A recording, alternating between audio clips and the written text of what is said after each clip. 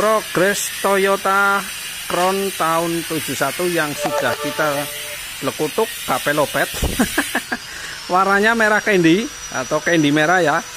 Merah warna permen. Mantap. Udah kita sepet udah kita clear muter dari depan sampai belakang dari belakang sampai depan. Hasilnya kinclong mengoncelong mantap buat teman-teman yang mau nyepet mobil langsung aja bawa ke sini. Kalau nggak bisa jalan langsung di towing aja. Kalau bisa jalan disetirin aja. Begitu terima kasih